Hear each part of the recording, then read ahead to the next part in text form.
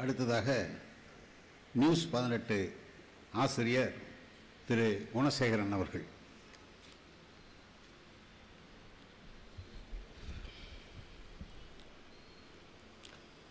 பெருமதிப்பிற்குரிய நண்பர்களே வரலாற்றில் நிறைந்துவிட்ட தலைவர் அன்பு தலைவர் கலைஞர் அவர்களது நினைவிற்கு புகழஞ்சலி செலுத்துவதற்காக திரளாக திரண்டிருக்கக்கூடிய பெருமக்களே சக பத்திரிகையாளர்களே செயல் தலைவர் அவர்களே அனைவருக்கும் எனது வணக்கம். தமிழ்நாட்டில் அதிக ஆண்டுகள் அதிக மேடைகளில் பேசியவர்களை எதிரில் உட்கார வச்சுட்டு நான்கைந்து பேரோடு விவாதம் நடத்துகிறவங்க பேசுறதுன்றது ரொம்ப கஷ்டம். தமிழ்நாட்டிலே அதிக மேடைகளை பார்த்த தலைவர்கள் எதிரில் இருக்கும்போது அது ஒரு தர்ம சங்கடம். மகாபாரத கதையை பதினெட்டு நாள் கதா காலட்சேபம் பண்றது மாதிரி கலைஞரோட தொண்ணூத்தி மூன்றாண்டு கால வாழ்க்கைய வாழ்நாள் முழுவதும் ஒரு எழுத்தாளராக இருந்த ஒரு தலைவரை பதினைந்து நிமிடத்தில் பேசுறதுன்றது அதை இதை விட பெரிய கஷ்டம். எழுத்துக்கு ஓய்வு தராத ஒரு தலைவர். இங்க எல்லோரும் ஒரு மூத்த பத்திரிகையாளர் மறைந்ததற்கு ஒரு இளம் பத்திரிகையாளனாக நான் நன்றி தெரிவிக்கிறேன். அவர்கள் சார்பில் புகழஞ்சி செலு புகழஞ்சலி செலுத்துவதற்கான வாய்ப்புக்கு நன்றி தெரிவிக்கிறேன் புகழஞ்சலி செலுத்துகிறேன் என்று நண்பர் முத்துக்குமார் சொன்னார். நான் ஒரு மூத்த பத்திரிகையாளர் எழுத்தாளர் மறைந்தார். அதற்கு இன்னொரு இளம் பத்திரிகையாளன் அஞ்சலி செலுத்துகிறேன் என்பதற்காக நான் வரவில்லை. நான் புகழஞ்சலி செலுத்தவில்லை. நான் நன்றி அஞ்சலி செலுத்த விரும்புகிறேன். தமிழ்நாட்டில் மட்டும் நடக்கிற ஒரு அதிசயம். எளிய குடியில் பிறந்தவர்கள் எதுவுமே இல்லாதவர்களுடைய முதல் தலைமுறை பட்டதாரிகள் ஊடகங்களின் பெரும் பதவிகளை ஆசிரியர்களாக எழுத்தாளர்களாக தலைமை நிர்வாகிகளாக இந்த இடத்தில் வருவதற்கு காரணம் திராவிட இயக்கமும் கலைஞர் அவர்களும் அவரை போன்ற தலைவர்களும் ஆற்றிய போராட்டமும் தொண்டும். அதுதான் எங்களை இந்த இடத்தில் கொண்டு வந்து நிறுத்தியது. அதற்காக என் நன்றி. மற்றவர்களுக்கு இல்லாத சிறப்பு அதில் திரு ராம் அவர்கள் ஒருவர் மிக இளம் வயதில் கலைஞர் அவர்களோடு பேசுவதற்கும் பேட்டி காண்பதற்கும் சந்திப்பதற்கும் உரையாடுவதற்குமான வாய்ப்பு எனக்கு கிடைத்தது. மிக கடுமையான விமர்சனத்தின் வழியாகத்தான் நான் அவரை அடைந்தேன். திமுக பாஜகவோடு கூட்டணியில் இருந்த காலத்தில் அந்த கூட்டணியை விமர்சித்து தினமணியில் நான் ஒரு நடுப்பக்க கட்டுரை எழுதினேன். திராவிட இயக்கத்தின் இரண்டாவது அத்தியாயத்தை முரசொலி மாறன் அவர்கள் எழுத வேண்டும் என்று கலைஞர் சொன்ன நேரத்தில் அப்படி ஒரு அத்தியாயத்தால் தமிழ் தமிழன் தமிழ்நாடு என்று இயங்கிய ஒரு இயக்கம் ஹிந்து ஹிந்தி ஹிந்துஸ்தான் என்று சொல்லக்கூடிய இயக்கத்தோடு கூட்டு சேர்ந்தது ஒரு கருப்பு அத்தியாயமாக இடம்பெறும் என்று கடும் வார்த்தைகளில் நான் எழுதியிருந்தேன். அதற்கு பதில் என்பது அவதூறு வழக்காக வரவில்லை வேறு வழியாக வரவில்லை. மாறாக ஒரு எதிர் கட்டுரை பதில் கட்டுரை மறுப்பு கட்டுரை அதற்கு அவர்கள் அனுப்பி வைத்தார்கள். அன்றைக்கிருந்த அரசியல் சூழலில் அதற்கான காரண காரியங்களை விளக்கி அவர் அவர்கள் அன்றைக்கு அந்த கடிதத்தை அனுப்பியிருந்தார்கள். பல்வேறு தருணங்களில் அவரோடு உரையாட எனக்கு வாய்ப்பு கிடைத்திருக்கிறது. எத்தனையோ பேட்டிகளில் எந்த கேள்விக்கும் எவ்வளவு தர்ம சங்கடமான ஒரு சூழலிலும் பத்திரிகையாளர்களை அவர் சந்திப்பதை தவிர்த்ததே இல்லை. அது தலைமைச் செயலமாக இருக்கலாம் கட்சி அலுவலகமாக இருக்கலாம் கோபாலபுரம் இல்லமாக இருக்கலாம் எந்த இடத்திலும் எந்த சூழலிலும் பார்க்கலாம். ஒரு பத்திரிகையாளருக்கு கருத்துரிமை அப்படின்ற ஒன்று வந்து அப்டிராக்டா ஏதோ கருப்பா இருக்கும் அது வெள்ளையா இருக்கும் இல்லை. அது ஒரு அச்சமற்ற உணர்வை தருவது. விரும்பியதை தீர்மானகரமாக எழுதுவதற்கான சுதந்திரம் அந்த சுதந்திரத்தை உறுதிப்படுத்துவது. இளம் பத்திரிகையாளர்கள்ட்ட அவர் ஒருபோதும் சீனியர்கிட்ட தான் பேசுவேன். ஜூனியர் மோஸ்ட் ரிப்போர்ட்டர் நீங்க கேள்வி கேட்குறீங்க அப்படின்னு அவர் ஒரு நாளும் பார்த்ததில்லை. நான் அந்த தினமணி நாளிதழில் திமுகவை கவர் பண்றதுக்கு போன நாட்களில் நான் அரசியல் அரங்கம் அப்படின்ற ஒன்றில் வாரந்தோறும் அரசியல் விமர்சனங்களை எழுதி வந்தேன். அதை பார்த்துவிட்டு குத்தூசி அவர்களிடம்தான் அவர் கருத்துக்களை பரிமாறுவார். நான் ரெண்டு நாள் மூன்று நாளுக்கு ஒரு முறை அவரை பார்க்குற நேரத்தில் குத்தூசி சார் சொல்வார் சார் உங்களை பற்றி கேட்டார். இந்த கட்டுரை எழுதினவர் யாருன்னு விசாரித்தார் இவர் பேக்ரவுண்ட் என்னன்னு விசாரித்தார் உங்களை பற்றி கேட்டார் நீங்கள் அவரை பார்க்கும்போது அவரை பாருங்கள் சார்னு சொல்லிட்டு எவ்வளவு கடுமையான விமர்சனத்தை எழுதிவிட்டும் அவரை சந்திக்க முடியும். அந்த கோபம் அப்படின்றது வந்து நீ அன்னைக்கு அப்படி என்ன எழுதுனியே அப்படின்னு சொல்லி அடுத்த நாள் அது தங்கினதில்லை. கோயம்புத்தூர் ஒரு பொதுக்குழு ஒரு தேசிய ஊடகங்கள்லாம் முடித்திருந்த ஒரு நேரம். பொதுக்குழுவில் காரசார விவாதங்கள்லாம் நடந்ததுன்னு செய்திகள் கசிந்த நேரம். நானும் ஜிசி சேகர் அப்படின்னு பத்திரிகையாளர் ஒரு அவர் திமுக தலைமை மாற்றது பற்றி பேசுனீங்களா? தலைமை மாற்றம் உண்டா அப்படின்னு கேட்டார். முகத்துக்கு நேரா. ஒரு தலைவரை பார்த்து கேட்கிறார் ஆமா தலைவரை மாற்றணும்னு முடிவு பண்ணிட்டோம் அப்படின்னார்.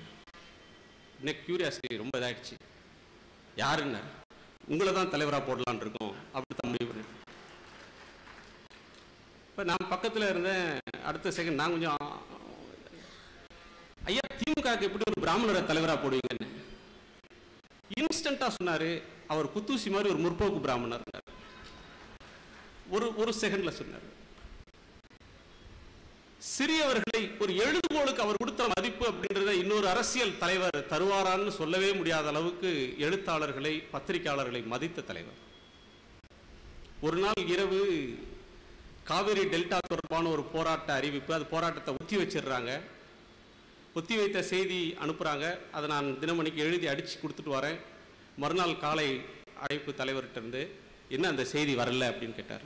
ஒரு சின்ன செய்தி ஒரு போராட்டத்தை ஒத்தி வச்ச செய்தி ஆனால் முக்கியமானது அந்த நேரத்தில் ஐயா நான் எழுதி கொடுத்துட்டு தான் வந்தேன். எப்படி மிஸ் ஆச்சுன்னு தெரியல. நான் அந்த காலை நேரம் நான் பேப்பர் பார்க்கல பரபரப்பில் எடுத்து பார்க்குறேன். என் கண்ணில் படலை அந்த செய்தி. தெரியலையா அப்படின்னு சொல்லி நான் சாரி சொல்லிட்டு இது பண்ணுறேன் அடுத்த ஒரு ஐந்து நிமிடத்தில் மீண்டும் அவரிடமிருந்து ஃபோன் சாரிப்பா நான் பார்க்க மறந்துட்டேன். சாரி அப்படின்னார். பத்திரிகையில் வந்திருந்தது மூணாம் பக்கத்தில் சின்னதாக வந்திருந்தது. அப்படி ஒரு தலைவர் சொல்லணும் அப்படின்ற எந்த அவசியமும் இல்லை. ஒரு டெல்லியில் ரெண்டாயிரத்தி ஒன்பதாம் ஆண்டு தேர்தல் முடிந்து ஆட்சி அமைப்பதற்காக சென்ற நேரத்தில் ஒரு டெல்லியில் நடந்த நிகழ்வு அது தொடர்பாக இப்போ நான் டைம்ஸ் ஆஃப் இந்தியா பத்திரிகையில் இருந்தேன் அது ஒரு செய்தி. அப்போ இந்தியாவின் தலைப்புச் செய்தியாக அது நாடு முழுக்க வந்திருந்தது. தலைவர் அழைக்கிறாருன்னு சண்முகநாதன் சார் கொடுத்தாரு. நீங்கள் தான் சரியாக போட்டிருக்கீங்க. உங்களுக்கு யார் அந்த செய்தியை சொன்னதுன்னார்? எனக்கு தர்மசங்கடமான ஒரு கேள்வி. கேட்கிறது ஒரு பெரும் தலைவர். ஆட்சியில் இருக்கும் தலைவர். முதல்வர். காங்கிரஸ் வட்டாரத்திலேருந்து வந்த செய்தி. அதை தான் போட்டோம். காங்கிரஸ் நிருபர் அங்கே அவருக்கு நிறைய கான்டாக்ட்ஸ் அவங்க கொடுத்த செய்தி தான் போட்டோம்னு சொல்லி ஒரு இதை சொல்கிறேன் இல்லை இல்லை எனக்கு தெரியும். நீங்கள் தான் கொடுத்துருப்பீங்க. உங்கள் பேர் அதில் இருக்குது யார் உங்களுக்கு சொன்னால் சொல்லுங்கன்னு நான் திரும்ப அதே பதில மழுப்பலா சொன்னேன் ஐயா காங்கிரஸ் வட்டாரத்தில் காங்கிரஸ் ரிப்போர்ட்டர் அவருக்கு அங்கே கான்டாக்ட்ஸ் அதிகம். அவங்க கொடுத்த செய்தி தான் போட்டேன். திரும்ப கேட்டார் எனக்கு மட்டும் சொல்லியா? நான் யார்கிட்டையும் சொல்ல மாட்டேன்னாரு. எனக்கு என்ன சொல்கிறதுனே தெரியல. ஐயா காங்கிரஸ் வட்டாரத்திலேருந்து சொன்னது. காங்கிரஸ் தலைமையில் அந்த செய்தியாளருக்கு ரொம்ப நெருக்கம். அவங்க சொன்னது ஐயா அப்படின்னு திரும்ப சொன்னேன். நான் இவ்வளோ கேட்குறேன் நீ சொல்ல மாட்டுற அப்படின்னு செய்தி அவர் கட் பண்ணுற நேரத்தில் இன்னொருத்தர் சொல்கிறாரு அவங்கெல்லாம் சோர்ஸை காட்டி கொடுக்க மாட்டாங்க. தொழில் தர்மம் அவங்களுக்கு அப்படின்னார். இது நடந்த பிறகு அடுத்த நாள் அவரை பார்க்க முடிஞ்சது. அவர் அதை பற்றி கேட்கவே இல்லை. வேறொரு தலைவர் அந்த ஹோல்டிங் கிரெட்ஜஸ் ஃபார் இயர்ஸ் அப்படின்வாங்க ஒரு கோபம் ஒரு தாபம் இருந்ததுன்னா அது வந்து வருஷக்கணக்கில் அந்த முகத்தில் எள்ளும் கொள்ளும் வெடிக்கும் சிலர்கிட்ட. ஆனால் முதலமைச்சர் நான் வந்து ஒரு சாதாரண பத்திரிகையில் ஒரு சாதாரண ஊழியன் நான். அன்னைக்கு பத்திரிகை ஆசிரியன்ல ஒரு செய்தி ஆசிரியரோ எதுவும் இல்லை. ஒரு ஒரு நிருபர். ஆனால் அன்றைக்கு அவர் வந்து அவ்வளவு தூரம் கேட்டு நான் சொல்லலை. ஆனால் அதை அவர் குற்றமாக கருதவில்லை. என் தொழில் மீது நான் கொண்டிருந்த மதிப்புன்னு அவர் நம்பினார். அடுத்த நாள் இயல்பாக அதே புன்னகை அதே மதிப்பு அதே தான் இருந்தது. வயது வித்தியாசம் பார்க்காமல் அன்பு காட்டினதுனாலேயோ என்னவோ அவருடைய நெஞ்சுக்கு நீதியிலும் கூட எனக்கு ஒரு இடம் கொடுத்திருந்தார். இலக்கிய துறையில் அவருக்கு இருக்கக்கூடிய நண்பர்கள் எல்லாம் சொல்லி சினிமா துறையில் எனக்கு இருக்கக்கூடிய நண்பர்கள்லாம் இவர்கள்லாம்னு இவர்கள் எல்லாம்னு சொல்லி அப்படி எனக்கு பத்திரிகை துறையிலும் சில நண்பர்கள் உண்டு அப்படின்னு பட்டியலிட்டிருந்தார். ஒரு பத்து பன்னிரெண்டு பேரை. அதில் திரு ராம் அவர்கள் உண்டு. அதில் என்னுடைய பெயரையும் குறிப்பிட்டிருந்தார். அது இந்த நேரத்தில் என் வாழ்நாளில் கிடைத்த ஒரு பெருமிதமான தருணம் என்பதை இந்த நேரத்தில் நான் பதிவு செய்ய விரும்புகிறேன். கருத்துரிமையை காத்தவர் அப்படின்னு சொன்னா இந்தியாவில் கருத்துரிமைக்காக குரல் கொடுக்கலாம். ஒரு கருத்தரங்கம் போட்டு ஒருத்தர் பேசலாம். நாங்கள் கூட பேசுகிறோம் கருத்தரங்கம் போடுறோம். ஒரு சுதந்திரம் பாதிக்கப்பட்டால் அதுக்கு குரல் கொடுக்குறோம். அதற்கு ஆட்சியை விலையாக கொடுத்தவர் கலைஞர். ஆயிரக்கணக்கான தொண்டர்களை சிறைக்கு அனுப்பியவர் கலைஞர். அதற்கான துன்ப துயரங்களை அடைந்த ஒரு தலைவர் அப்படின்னா இந்தியாவிலேயே கலைஞர் ஒருவரைத்தான் சொல்ல முடியும். ஆயிரத்தி தொள்ளாயிரத்தி எழுபத்தி ஐந்தில் நெருக்கடி காலம் என்று ஒன்று வந்தது. அதற்கு தங்கள் வாழ்க்கையை அர்ப்பணித்து தியாக தழும்புகளை ஏற்று சிறைச்சாலையில் அடி உதைகளை வாங்கிய பல தலைவர்கள் இங்கே இருக்கிறார்கள் செயல் தலைவர் உட்பட. நெருக்கடி நிலையில் இன்னைக்கு சினிமாவுக்கு சென்சார் உண்டு. நாடகத்துக்கு சென்சார் உண்டு. தொலைக்காட்சி தொடர்களுக்கு சென்சார் கிடையாது. செய்தி போடுறோம் சென்சார் கிடையாது. பத்திரிகைகளுக்கு சென்சார் இல்லை. ஆயிரத்தி தொள்ளாயிரத்தி எழுபத்தைந்தில் உள்நாட்டு பாதுகாப்புன்ற பேரில் நெருக்கடி நிலை அமல்படுத்தப்பட்ட நேரத்தில் சாஸ்திரி பவன் இருக்கே அதில் ஒரு மூன்று அதிகாரிகளை கொண்டு ஒவ்வொரு பத்திரிகையும் அச்சுக்கு போவதற்கு முன்னால் பேஜ் ஃப்ரூ அப்படின்னு சொல்லி ஒவ்வொரு பக்கத்தையும் அவர்களிடம் காட்டி அவர்கள் இதை நீங்க பிரசுரிக்கலாம் அப்படின்னு சொன்ன பிறகுதான் பிரசுரிக்க முடியும். அந்த அதிகாரிகள் யார் என்று சொல்ல தேவையில்லை. அன்றைக்கு அதிகபட்ச பாதிப்பு பத்திரிகைகள் அப்படின்னு சொன்னா நான்கு பத்திரிகைகள். அதில் மூன்று கட்சி பத்திரிகைகள் ஒன்று செய்தி பத்திரிகை ஒன்று முரசொலி இன்னொன்று விடுதலை இன்னொன்று தீக்கதிர் செய்தி பத்திரிகைகளிலே இந்தியன் எக்ஸ்பிரஸ். தந்தை பெரியார் என்று எடுத்துச் சென்றால் அதில் தந்தையை வெட்டுவார்கள். பெருந்தலைவர் காமராஜர் என்றால் காமராஜ் என்று போட்டுக் கொள்ளலாம் பெருந்தலைவர் போடக்கூடாது. அண்ணா அறிஞர் அண்ணா என்றால் அது என்ன அறிஞர் என்று அதை வெட்டுவார்கள். ஒரு பக்கத்திற்கு செய்தியை கொடுத்து அனுப்பினால் அதுல நான்கைந்து பேரா மட்டுமே தேரும். அதில் இன்னொரு கொடுமை என்னன்னா வெட்டிய பகுதியை நீங்க வெள்ளையா விட முடியாது. அவர்கள் ஓ நாங்க வந்து வெட்டிட்டோம்னு நீங்க உங்க வாசகர்களுக்கு சொல்றீங்களா? தணிக்கை நடக்குதுன்னு நீங்க சொல்றீங்களா? அப்படின்னு சொல்லி நீங்க வெட்டிய பகுதியை வேற ஏதேனும் செய்தியை போட்டு அவர்கள்ட்ட மீண்டும் காட்டி நிரப்பி பன்னெண்டு மணிக்கு நம்ம அச்சுக்கு அனுப்பணும். அந்த நாளில் தன்னுடைய தொண்டர்கள் எல்லாம் எல்லாம் சிறைச்சாலைக்கு அனுப்பிவிட்டு எதேச்சாதிகாரம் இருள் இந்தியாவில் கவிழ்ந்திருந்த நேரத்தில் ஒற்றை மனிதனாக கலைஞர் அவர்கள் போராடினார். அவருடைய பிறந்த நாளுக்கு ஒரு கட்டுரை எழுதுகிறார் ஜூன் மூன்று. அண்ணாவை விட என் என்னிடம் அதிக அன்பு காட்டி அண்ணா என்று ஒரு கட்டுரை பிறந்த நாளுக்கு எழுதின செய்தி. அதை அச்சிடுவதற்கு அனுமதி மறுக்கிறார்கள். அன்னையை விட என் அன்னையை விட என்னிடம் அதிக அன்பு காட்டிய அண்ணா என்ற ஒரு செய்தி. வெகுண்டு எழுந்தார். இது என்ன அக்கிரமம்? கேட்பாரே இல்லையா? இது எழுதுவதில் என்ன குற்றம்? அப்படின்ற ஒரு கோப உணர்ச்சி அவருக்கு வந்தது. அதற்கு முன்னால் வரையிலும் ஒரு முதலமைச்சர் கார் ஓட்டுவதற்கு ஆள் இல்லை எல்லோரையும் கைது செய்திருக்கிறார்கள். சகட்டு மேனியாக கைது சிறைச்சாலையில் தாக்குதல் அதை பற்றி செய்தியே வராது. யார் கைது செய்யப்பட்டார்கள் என்ற செய்தி கூட போடக்கூடாது என்ற நெருக்கடி இருந்த நேரத்தில் தனி மனிதனாக அண்ணா சாலையில் துண்டறிக்கையை எடுத்துக்கொண்டு போய் அராஜகம் ஒழிக ஜனநாயகம் மலர்க கருத்து சுதந்திரம் வளர்க என்று அன்றைக்கு கொடுத்தவர் கலைஞர் அவர்கள். ஸோ இன்றைக்கு அரசியல் சட்டம் வழங்கிய கருத்துரிமை அப்படின்ற ஒன்றை ஃபண்டமெண்டல் ரைட்டுன்னு சொல்கிற right to speech freedom of expression அப்படின்னு சொல்கிற ஒன்றை நிலைநிறுத்துவதற்காக ஒரு பெரும் போராட்டத்தை தன் தோல் மீது ஏற்று நடத்திய ஒரு தலைவர் கலைஞர் அவருடைய இயக்கம் அவருடைய தொண்டர்கள் என்பதை இன்றைக்கு கருத்து சுதந்திரத்தை பேசக்கூடிய எல்லோரும் நன்றியோடு நினைவு கூற வேண்டும் என்று நான் சொல்ல விரும்புகிறேன்.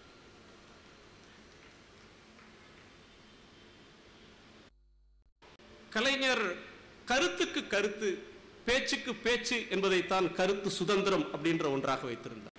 ராஜகோபாலாச்சாரியார் ராஜாஜி அப்படின்ற பேர்ல சக்கரவர்த்தி திருமகன் அப்படின்னு சொல்லி அவர் கட்டுரை எழுதினால் அதற்கு பதில் கட்டுரை ராஜாஜிக்கு மூக்காஜி எழுதினார். மூகாஜி அப்படின்ற பேர்ல நீ சக்கரவர்த்தி திருமகன் அப்படின்னு எழுதினா நான் சக்கரவர்த்தியின் திருமகன் ஒரு கட்டுரை எழுதினார். அவர் முகமது பின் துக்ளக் என்று அவரை பரிகசித்து ஒரு நாடகம் போட்டால் அவனே அறிவாளி என்று எதிர் நாடகம் தான் போட்டார். கருத்துக்கு கருத்து. ஒருபோதும் அவதூறு வழக்குகளை அவர் நாடியதில்லை. உரிமை மீறல் வழக்குகளை அவர் நாடியதில்லை. ஒரு இந்தியா இன்றைக்கு ஜனநாயக நாடாக இருக்கிறது என்றால் இன்னைக்கு கருத்து சுதந்திரம் பற்றி பேசுறோம்னா பிக்கஸ்ட் த்ரெட் டு டெமோக்ரஸி அப்படின்றது வந்தது. மிக பெரும் அச்சுறுத்தல் வந்தது.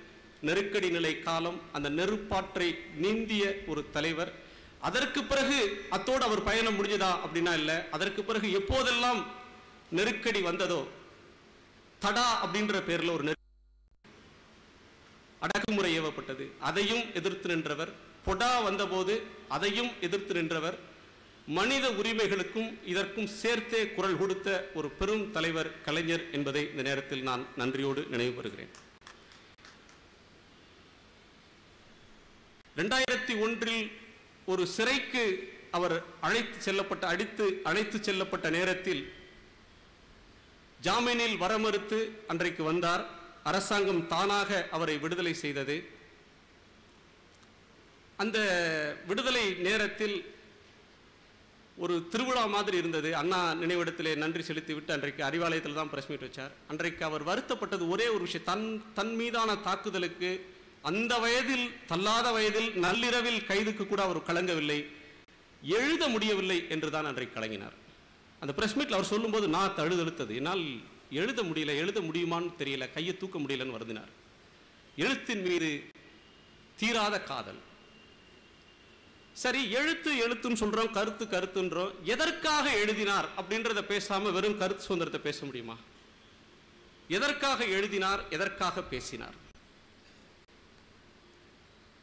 நாம் மேடையில் நிற்பினார் தலை நிமிர்ந்து வாழ்வதற்கு பேசினார் சுயமரியாதையோடு நிற்பதற்கு பேசினார் சாதாரண மனிதர்கள் கம்பீரமாக வாழ்வதற்கு பேசினார். ஆதிக்கமற்ற சமுதாயம் அமைய வேண்டும் என்பதற்காக பேசினார்.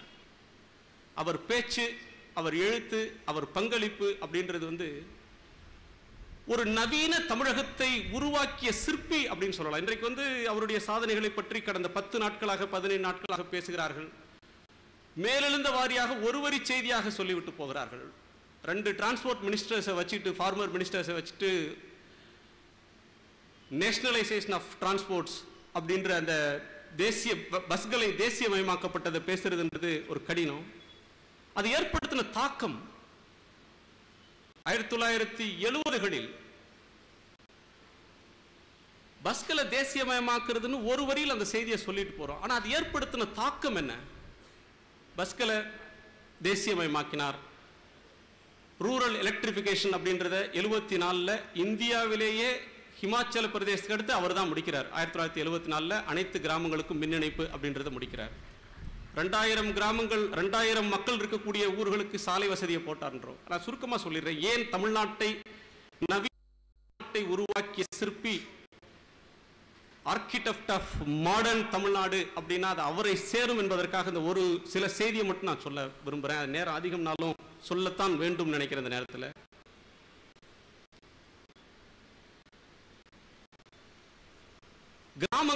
தனியார் பஸ் விட்டு இருந்த நேரத்துல லாபம் இருக்கிற ரூட்ல மட்டும் விடுவாங்க. பேட்டர்னேஜ் எங்கெல்லாம் பயணிகள் ஏறுவார்களோ அந்த ஊர்ல விடுவாங்க. பயணிகள் இல்லாத பஸ் காலியா வர்ற எந்த ரூட்டுக்கும் எந்த முதலாளியும் ஆப்ரேட் பண்ண மாட்டாங்க. பண்ணா நஷ்டம் ஆகும். அறுபதோட கான்டெக்ட் பார்த்தீங்கன்னா பசுமை புரட்சி வந்து விவசாய உற்பத்தி பெருகி கிராமத்திலிருந்து மூன்று மாதம் நான்கு மாதம் மட்டுமே விவசாயம் இருந்த நிலை மாறி கூடுதல் நாட்கள் விவசாயம் வந்து காய்கறி உற்பத்தியாகி அது போக வேண்டிய ஒரு நேரம். அதே நேரத்தில் சைமல்டேனியஸ்ல வெண்மை புரட்சின்னு சொல்லி பால் உற்பத்தி அதிகமாகி அதை கிராமத்துக்கு கொண்டு வர வேண்டிய நேரம். பள்ளி முடித்து பக்கத்தில் மாணவர்கள் போக வேண்டிய ஒரு ஹையர் எஜுகேஷனுக்கு பத்தாம் வகுப்பு பன்னிரெண்டாம் வகுப்புக்கு நகரத்துக்கு போக வேண்டிய ஒரு காலம். எத்தனை பேர் மாட்டு வண்டி சாட்டு சாரட்டு வண்டி கட்டிட்டு போக முடியும்? அன்றைக்கு கிராமங்களுக்கு பஸ்களை விடணும்னா அரசு அதை செய்தால் இல்லாமல் அதை ஒரு சர்வீஸா பண்ணா மட்டும்தான் அது சாத்தியம்னு சொல்லி ஒரு தொலைநோக்கோடு சிந்தித்து அதை அன்றைக்கு சாதித்த தலைவர் கிராமங்கள் நகரங்களோடு இணைக்கப்பட்டன. கிராமங்கள்ல இருந்தவங்க படிக்கிறதுக்கு வந்தாங்க. விவசாயிகள் வேலை தேடி வந்தார்கள். தமிழ்நாடு ஒரு மிகப்பெரிய உருமாற்றத்தை அன்றைக்கு சந்தித்தது. அன்றைக்கு ஒரே நேரத்தில் ஊருக்கு பஸ் வருது ஒரே நேரத்தில் ஊருக்கு ரோடு வருது ஒரே நேரத்தில் கரண்ட் வருது.